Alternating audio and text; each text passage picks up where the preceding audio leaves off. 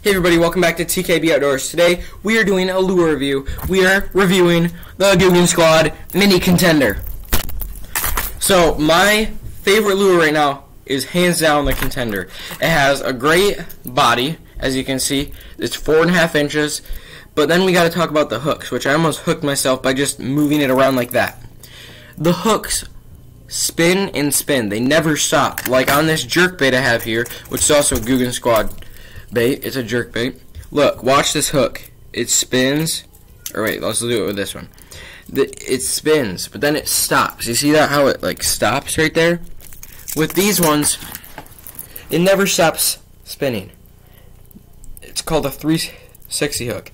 It never stops spinning. So when the fish tries to jerk off of the bait and get its get it unlocked, dislodged out of its mouth. It can't do that because of the 360 hook. That is the coolest feature I've ever had with a lure.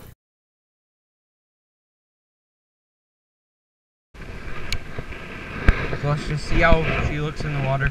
I'm not going to cast very far just so I can show you.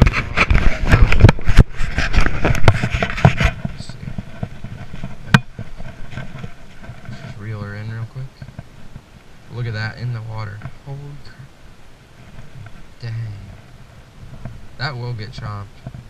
This lure's gonna. Oh, hook that hook.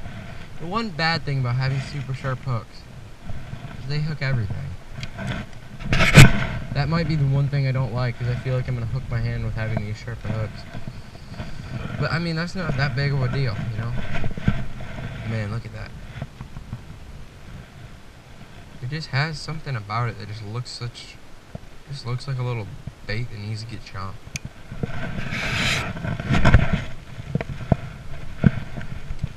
see if we can catch something on it. I'm probably just gonna like not with a lot of anything on it. I mean, this lure, it just looks so good. I really think it's gonna get hammered. Look at that. Have you seen this one feature? If you go like that, it, it does this like jerky thing. It's it looks so much like a bluegill.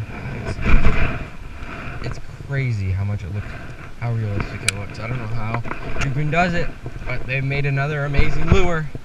They won't stop making amazing lures. I'm almost, I'm going broke because of how much I've spent on Googans. Man, that's good. Look at that.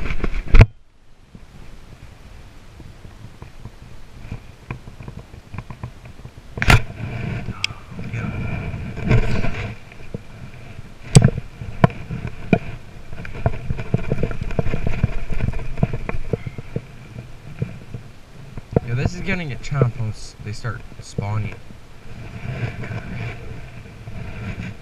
And this thing's gonna get lit. Next time, I guarantee, guarantee you, this this lure lure will catch a five to seven pounder this fishing season, smallmouth or largemouth. And I will see you guys later. Like and subscribe.